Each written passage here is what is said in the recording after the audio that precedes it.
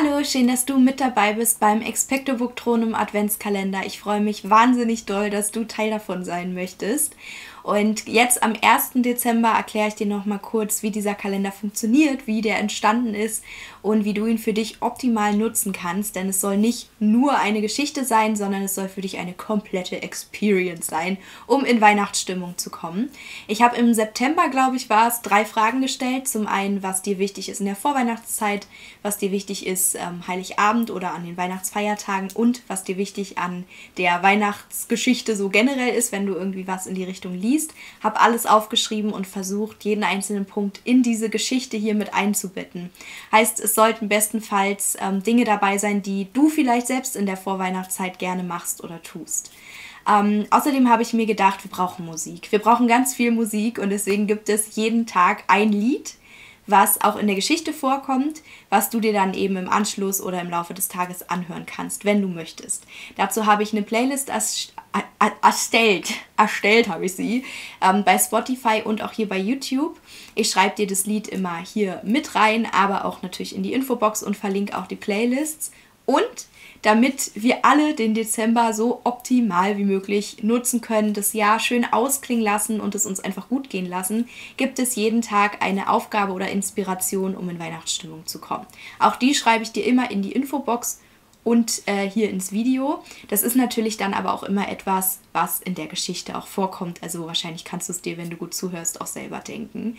Und ähm, ja, hier siehst du immer, welcher Tag heute ist. Heute ist der 1. Dezember.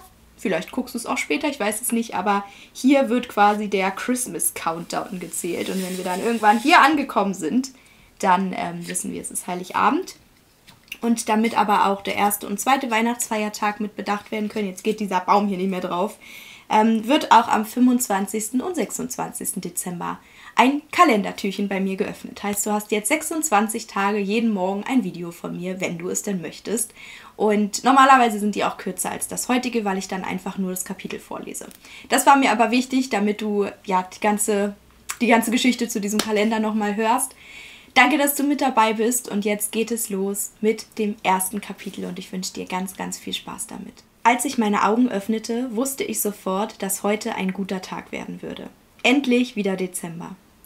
Ich tapste ins Badezimmer, spürte die kalten Fliesen unter meinen nackten Fußsohlen und schaute in den Spiegel.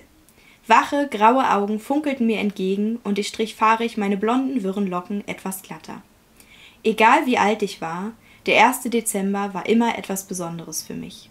Schon als kleines Kind konnte ich vor Aufregung kaum schlafen. Schließlich wartete ein nagelneuer Adventskalender auf mich. 24 Türchen, die jeden Morgen Überraschungen für mich bereithielten. Besser ging es doch gar nicht.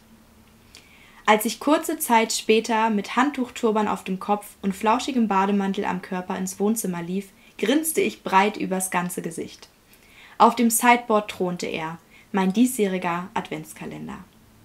Er war ziemlich groß und aus fester, dunkelgrüner Pappe gefertigt.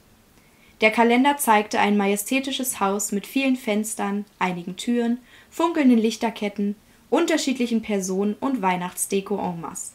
Es gab so viel zu sehen, dass ich mich schon so darauf freute, jeden Tag eine neue Kleinigkeit zu entdecken. Hinter jeder der 24 Türen versteckte sich ein kleines weihnachtliches Bild. Ich musste schmunzeln, als meine Mutter mir den Kalender am ersten Advent mit feierlicher Miene übergeben hatte, weil ich sofort an das Buch Hinter verzauberten Fenstern von Cornelia Funke denken musste.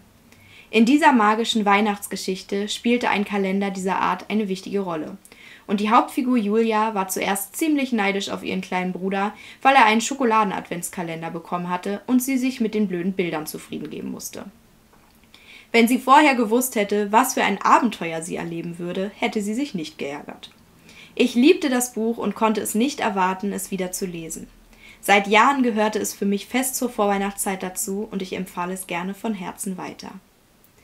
Anders als Julia, die Hauptfigur der Geschichte, war ich allerdings kein Kind mehr, sondern 29 Jahre alt. Das milderte meine Vorfreude aber nicht im geringsten. Ich öffnete vorsichtig die erste Tür des Kalenders und ein fröhlicher Lebkuchenmann mit Zuckerverzierung und jeder Menge Glitzer auf dem kleinen Körper strahlte mir entgegen. Alexa, spiel It's Beginning to Look a Lot Like Christmas, forderte ich meine Alexa, auf und sofort begann Maike Bublé mit seiner Samtstimme eins meiner liebsten Weihnachtslieder zu singen. Mit diesen zauberhaften Klängen im Ohr machte ich mich fürs Büro fertig. Gerade als ich nach der Arbeit zurück in meine Wohnung kam, mich aus meiner Jacke schälte und meine Stiefel von den Füßen kickte, klingelte mein Handy. Hi Mama, na, wie geht's?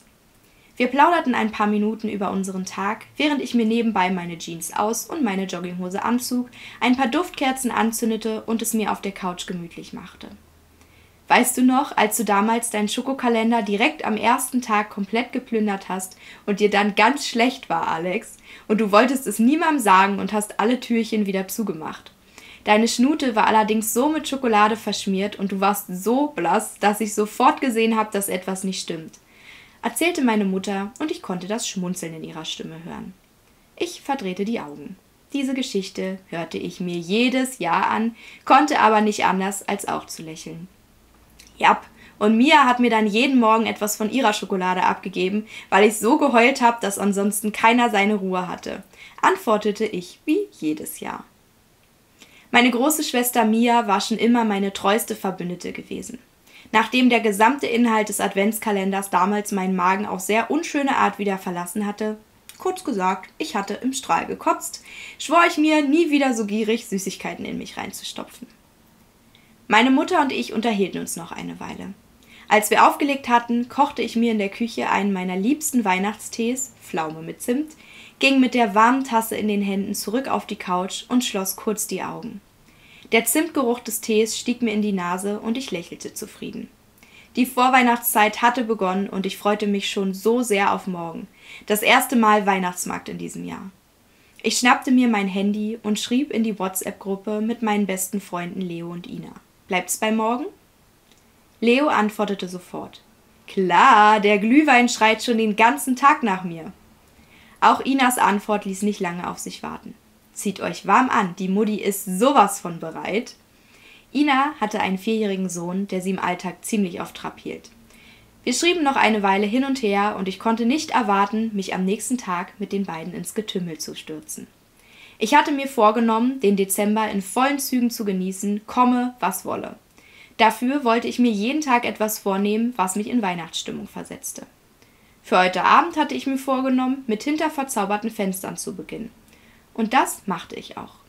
Ich schnappte mir das Buch, kuschelte mich auf der Couch ein und begann zu lesen. Wenn du wissen möchtest, wie der Weihnachtsmarktbesuch ist und was Alex noch alles erlebt, dann kann ich dir nur ans Herz legen, jeden Morgen oder wann auch immer es dir passt, den neuen Teil der Geschichte anzuhören. Es würde mich wirklich sehr, sehr freuen. Da steckt mein ganzes Herz drin in dieser Geschichte und in diesem Kalender für dich. Und ich hoffe, dass du heute einen ganz, ganz schönen Tag hast. Und wir sehen uns morgen.